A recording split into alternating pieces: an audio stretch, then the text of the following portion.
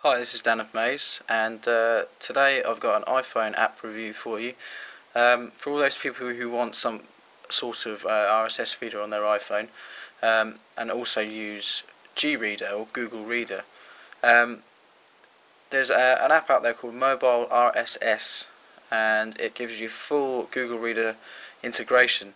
So if you're used to that interface and you like the way Google Reader works, then this is definitely for you. Now currently there are three options. You can go for a free version which is ad supported. You can go for a paid version which is um, basically just gets rid of the ads and there's also a secondary paid version which is more of like a professional version with more features. So as you can see if you look at the user interface it's very very similar to Google Reader in the way that um, it, it lays out your feeds and everything and for example if you go into a feed I'm just go into CNET here it gives you all of your stories just like Google Reader and you can go into those. And it will show you uh, depending on the RSS feed um, a description of what it is and a link to go to the actual post. Or even uh, you could see uh, images in there and, and, and even full posts sometimes.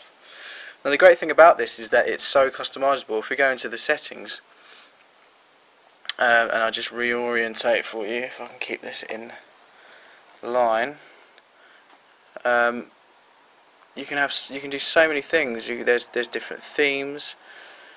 I'll just bring this back a little bit. There's uh, how many items you can have on the page, the font size, how you sort the feed, uh, show unread badges so you can see you know badges on your home screen of how many articles you've read and how many you haven't read. So it's a really really cool thing to do and there's also all uh, social integration as well.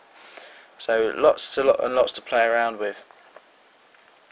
Um, and the great thing is it's free and if you do like it then you can go along and download the paid versions. So that's mobile RSS Google Reader on your iPhone. So uh, if you like Google Reader, this is definitely for you. So thanks for watching. Please like, comment and subscribe. I'll put a link to this in the description that will uh, launch you into iTunes and, and uh, you can download and have a play of this yourselves. Thanks for watching and bye bye.